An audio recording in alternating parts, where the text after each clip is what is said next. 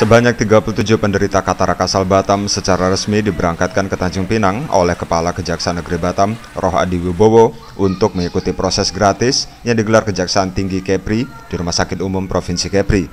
Ke-37 peserta operasi katarak gratis ini diberangkatkan menuju Tanjung Pinang menggunakan dua bus pariwisata.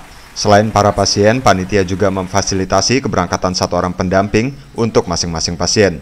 Menurut Kepala Kejaksaan Negeri Batam, Rohadi Wibowo, Kegiatan operasi katarak secara gratis kepada masyarakat umum merupakan bentuk kepedulian Kejaksaan Tinggi Kepri kepada masyarakat yang kurang mampu. Oke, ini merupakan program unggulan dari pimpinan kami, Bapak Jaksa Agung Republik Indonesia, bahwa di mana-mana juga sudah dilaksanakan kegiatan yang berkaitan dengan bakti sosial.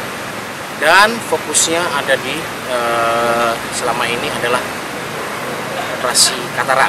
Dan pada hari ini Bismillahirrahmanirrahim kami berangkatkan sebanyak 34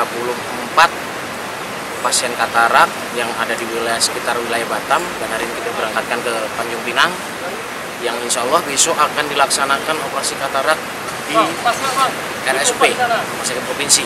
Kajari menambahkan kegiatan ini merupakan salah satu kegiatan sosial yang difokuskan oleh jajaran Kejaksaan Agung Republik Indonesia dan dilaksanakan di seluruh Indonesia.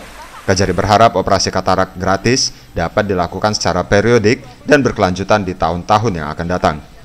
Dari Batam, Kepulauan Riau, Pascal Riang Hebat melaporkan.